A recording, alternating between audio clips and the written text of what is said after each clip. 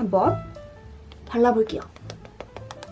쿠션 퍼프도 굉장히 찰떡같이 밀착이 잘 되는데 와 미쳤다. 지금 이렇게 컨실러랑 이런 거 하나도 안 썼는데 이게 제 피부톤에 잘 맞아서도 그런 건지 모르겠는데 목이랑 경계도 거의 없어요, 지금. 진짜 간만에 인생 쿠션 찾은 것 같아요. 와 이건 진짜 장난 아니다. 이거 인생 쿠션, 인생 쿠션. 컬러감도 너무 잘 맞아요. 그쵸? 지금 제 원래 피부톤이랑 거의 찰떡같이 잘 맞는?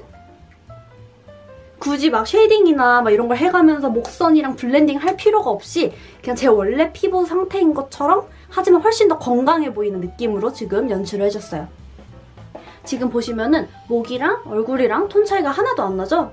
음, 역시 사람은 자기 피부톤에 맞는 쿠션을 썼을 때 제일 예뻐 보이는 것 같아요.